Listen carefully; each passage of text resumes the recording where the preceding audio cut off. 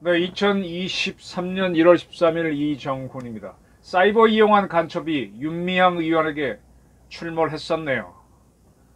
북한은 문재인의 그늘을 이용해서 정치권까지 그들의 지령을 침투시켰습니다. 제가 여러 차례 말씀드린 바가 있습니다.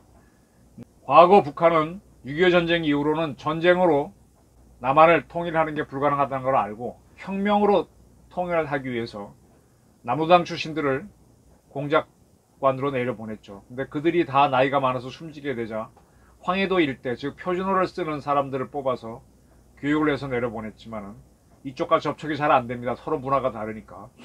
그때 집한 간첩을 만난 사람 중에 한 명이 지금 민주당의 우상호 의원이죠. 그러니까 북한은 그다음부터 어떻게 하는가 하면 사이버 세계를 이용해서 사이버 세계는 서로 대면을 안 하니까 거기에서 이제 서로 이메일을 주고받으면서 여러 가지 방법을 주고받으면서 남한에서 어떻게 해라 또 남한 사정을 어떻게 하느냐 하고 보고를 하게 합니다.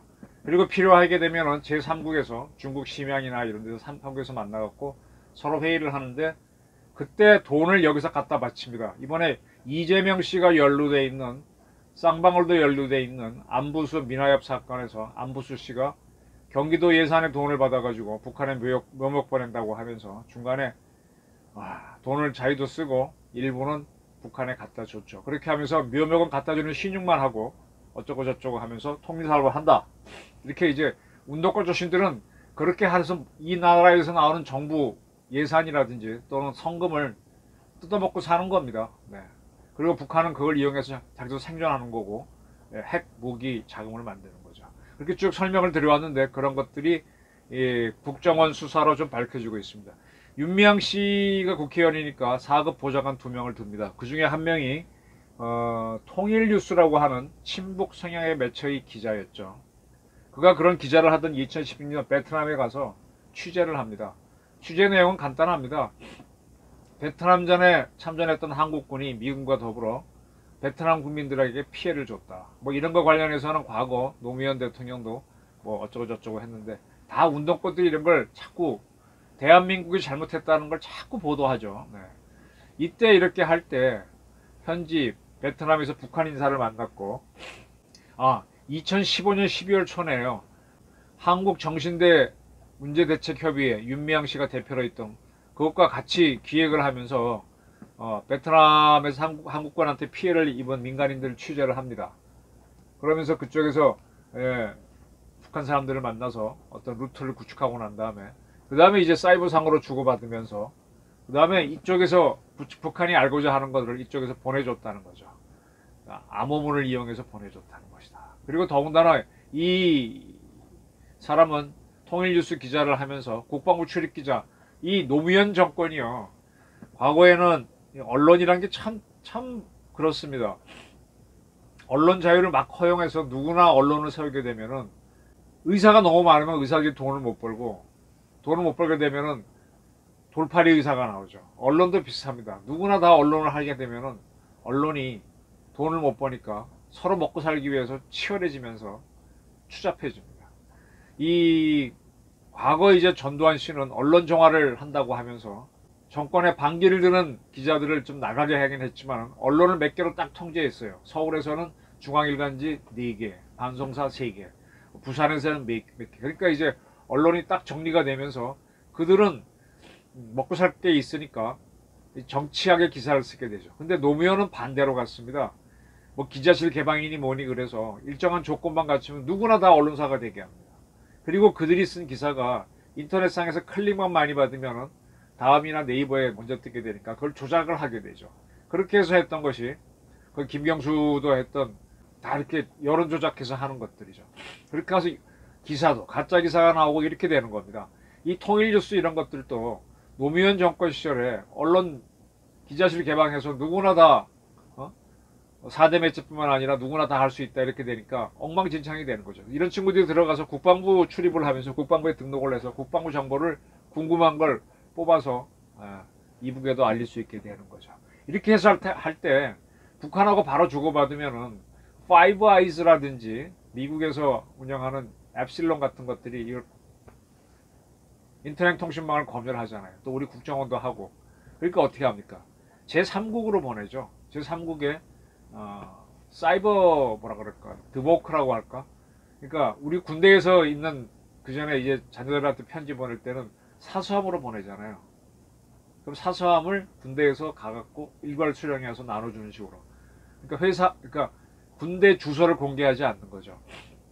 그것처럼 어, 어떤 그 사서함 같은 방식이 드보크입니다. 그쪽으로 보내놓으면 그 거기에 이 비밀번호는 양쪽만 알죠. 뜯어가, 뜯어서 이제 가져가서 자기 정보를 얻고 하는 이런 식으로 이런 식으로 정보를 주고받죠. 이렇게 되면 북한은 대한민국의 대한민국 사정을 잘 모르는 아, 사람을 직접 확인할 이유가 없죠. 여기 있는 사람들한테 이렇게 보내도 열심히 해주려고 하고 또 그들은 대북 사업 한다면서 국민 성금 또 정부나 지자체 예산 뜯어가지고 들고 와서 뇌물을 바치고 또 약간의 자기들이 대북 사업 해야 되니까 묘목도 몇 개 뭐 북한에 보내는 척하고 좋은 일 하는 척하면서 이렇게 사업을 하는 거죠. 지금 한국에서 쭉 보게 되면은 문재인 정권이 들어서자마자 밑도 끝도 없이 그대로 탈핵 정책을 시도했습니다. 물론 그 전에 약간의 조짐이 있었지만 바로 집행을 합니다. 어, 이렇게 신속하게 할 수 있을까요? 네, 이거는 누군가의 준비된 사람들이 있었기 때문에 가능한데 문재인 측근에서 쭉 살펴보게 되면 그렇게 보이지는 않습니다. 그걸 뻔뿌질한 사람은 있지만 밀어붙인 사람들은 좀 잘 안 보입니다. 또 소득주도 성장이니 뭐니 문재인 정권에서 했던 또 다음에 대북첩촉이라든지 어, 그런 걸 보게 되면은 뭐 김영철이가 왔을 때 환대를 한다든지 그런 결정들이 쉽게 못 납니다. 우리 공무원들도 보수적이기 때문에 쉽게 동의 안 하는데 그냥 밀어붙입니다. 이게 왜 그랬을까요? 바로 제가 누차 말씀드렸듯이 문재인이라는 아바타를 내세워두고 거기서 북한과 통할 수 있는 세력들이 북한에서 어떤 연락이 오거나 그러면 그거를 검증 없이 바로 밀어붙이는 겁니다. 근데 그걸 가장 잘 수행한 사람이 문재인이었죠. 허허허허 무골로인처럼 지금은 이제 이재명으로 봤다가 정권 재창출에 실패한다는 게 저희 판단입니다. 그래서 이제 이 자들은 대한민국에서 뛰는 이 자들은 북한하고 직접 만나는 거는 어쩌다 한 번 만나니까 나는 뭐 별거 없다.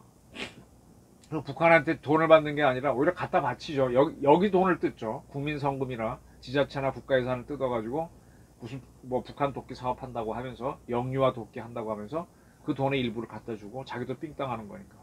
그러니까 자기는 아니다라고 하는데 이게 교묘한 수법이죠. 이게. 이 직파 간첩이 없어지고 난 다음에 이 자생적 공산주의자들이 자꾸 나오는 게 바로 이런 겁니다. 이런 것들을 잡아내게 되면 자기는 아니다라고 그러고 또 이쪽 시스템을 잘 아니, 아니까 이재명이도 이번에 검찰에 성지청에 갔을 때 진술을 거부했다 그러는데 진술을 안 하죠. 안 합니다. 그걸 계속 하면서 그러면서 이제 나오면은 또 이제 뭘 하게 됩니다. 이 윤미향 씨의 남편인 김삼석 씨인가요? 이 양반은 자기 누이와 더불어 옛날에 누이 간첩 사건으로 유죄를 받았던 사람이죠. 그 중에 일부는 나중에 또 문제가 저, 저 고문받았던가 뭔가 이거는 또 국가 배상을 받았지만 배상만 내세울 뿐 자기가 유죄받은 건 내세우지 않습니다. 이 윤미향 씨 보좌관은 하여간 거의 윤미향과 동급이었던 사람입니다. 이런 사실들이 지금 밝혀져서 윤미향, 윤미향 씨는요, 아무리 망신을 줘도 대한민국 국회에서 안 나갈 겁니다. 그게, 그게 더 유리하기 때문에 저쪽에서도 유리하고 저쪽에서도 나가라, 나가라고 안 할 거고 있는 게 나으니까 거기 있으면서 흔드는 겁니다.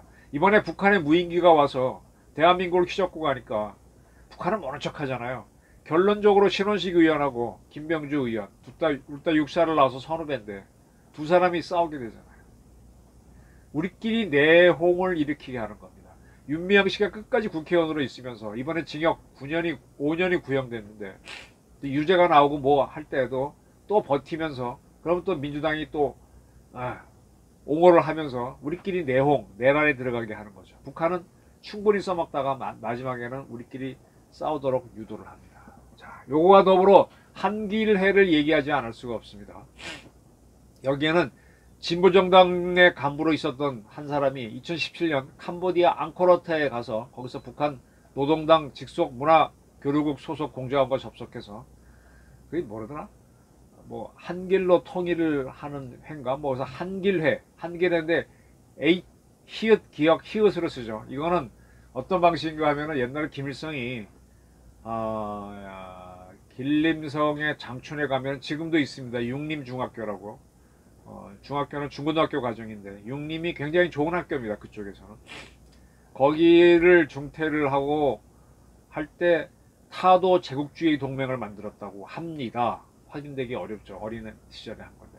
그 타도 제국주의 동맹을 줄여서 티긋 디귿 트드라고 합니다. 이것처럼 히읗 기역 히읗 흐그흐를 만드는 거죠. 이게 일종의 운동권들 주사파대하는 방식인데 이렇게 해가지고 어 민노총 산하 4.3 통일위원회를 장악, 장악해라. 지금 제주 4.3 희생자에 대해서 어 그걸 찾고 뭐 보상 글쎄 뭐 그러면서 자꾸 그거를 의미를 더 높이죠. 광주처럼 자꾸 의미를 높이죠. 여수 사건도 자꾸 의미를 높이죠. 이렇게 하면서 자꾸 우리의 기존 방공간을 무너뜨리고 우리 체제를 무너뜨리는 겁니다. 그리고 민노총인 뻘핏하면은 무슨 뭐 반미 자주와 이런 시위를 벌입니다. 노동운동과 완전 관계가 없는 것도. 이런 것들이 왜 하느냐? 바로 이런 지령들이 들어가기 때문이거든요. 그래서 이들은 한번 그렇게 제3국에서 만나고 오고 난 다음에는 약간 사이버 드버크를 이용해서 서로 교신을 하면서 또 그게 오게 되면 성실하게 수행합니다. 그들이 수행할 때 자금은 뭐냐? 우리 현대 중공업, 현대 자동차의 노조가 전국 최대의 노조고 공급도 많이 주는 노조인데 거기에서 받는 돈 갖고 하는 거예요. 이번에 포스코 노조가 민노총 탈퇴하고 하는 거는 거기서 그렇게 해줬음에도 불구하고 받은 게 없고 이용만 당하고 그러니까 현대차나 현대자동차 노조원들은 민노총 맹원비만 엄청 내고 별로 혜택 받는 것도 없습니다. 그렇게 해서 여기서 뜯어먹는 게 이게 바로 적지 공작이라는 겁니다. 적지에 들어가서 자기네 당국으로부터의 돈을 받는 게 아니라 자기가 만들어 쓰는 거죠. 만들어 쓰는데 이게 훨씬 더 안전하고 더 풍족합니다. 나중에 걸려도 북한과의 관계를 오리발을 내밀 수가 있게 되죠. 민중자주통일전이라는 반정부당체를 만들어서 창원에서 어, 부부가 이렇게 활동을 해갖고 이런 것들이 다 한기래랑 다 한기래는 제주도에 관련된 거고 이게 지금 창원에 돼 있고 여러 곳에 전북에도 무슨 민중자주정일 뭐 그런 식으로 있습니다. 경남에도 있고 이런 조직들이 이제 뭐만 나오면은 이제 시위를 하는 거죠. 제가 이제 대한민국의 직업적인 운동권들이 있는데 뭐 대기업체라든지 제가 다녔던 동아일보나 조선일보 앞에 가게 되면 뭐 1인 시위하고 하는, 늘 하는 사람들이 있어요.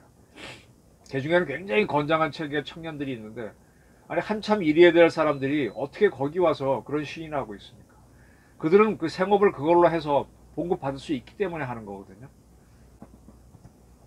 이러한 조직들이 문재인 정권 내내 아주 뭐 활개를 쳤고요. 어, 그걸 국정원을 국정원법을 완전히 개정시켜서 국정원이라고 하는 기관은 국가 안보를 위해서 그런 목적, 한 목적 기관인데 이거를 법으로 통제하는 합법기관으로 바꾸고 공작기관을 합법기관으로 하게 되면 어떻게 돼요? 안 되는 거죠. 이렇게 교묘하게 뭐 민주주의 어쩌고 하면서 다 우리의 방어 가드를 내리게 만들었었습니다. 그리고 그들이 윤미향 같은 자들은 대한민국 국회까지 들어왔고 그거를 연대 연대 하다가 문재인이가 연대해서 받아줬다는 겁니다. 그래서 제가 그 해수부 공무원 피살 사건과 관련해서 서울만 조사하고 그 위에 서는 왜 조사하지 않느냐. 아바타도 책임이다. 라는 주장입니다. 자, 한기래가 나오고 아까 뭐 민중 뭐 어쩌고 한거 지금 계속 나오고 있죠. 이제 국정원이 움직이면서 근데 국정원의 대형 수사권을 지금 예, 다 차단시켜놨죠. 문재인 정권이. 그 책임을 문재인한테 물어야 됩니다. 이걸 반드시 물어야 됩니다. 사이버를 이용해서 이쪽 돈으로 적지 공작을 하는 이, 이 이자들. 북한은 위험하게 안 내려보내고 돈만 상납받으니 얼마나 좋겠습니까? 그러니까 이자들은 뭡니까? 대북 제재를 풀리기 위해서 뛰어다녔던 거죠. 이제 북한이 어떻게 움직였고 문재인이 대한민국을 어떻게 망치는지 보이십니까? 설마 설마 하겠지만 글쎄 설마를 설마 설마 하시다가 큰코 다칠 수 있는데 이미 이건 너무 오래됐습니다. 정말 문재인 정권 출범하자마자 많은 자들이 제3국으로 날아가서 아까 16년 17년 다 그렇잖아요. 이분 사람들 만나갖고 와가지고 그 다음에 이메일 주고받으면서 뭐하죠. 아 박근혜 때 못하던 걸 확 했던 겁니다. 그래서 문재인은 삶은 소대가리 소리 들으면서도 그렇게 북한에게 맞춰주고. 자, 사이버에 이용한 간첩단 윤미향에게 접근했었네. 문재인의 그늘을 이용한 이 이용 정치권까지 침투해 있는 이 간첩단이라 그럴까 북한 지령을 이제는 발- 조사를 해서 밝혀내고 북한을 몰아쳐야 할 때입니다. 네. 제가 한번 분석을 해봤습니다. 감사합니다.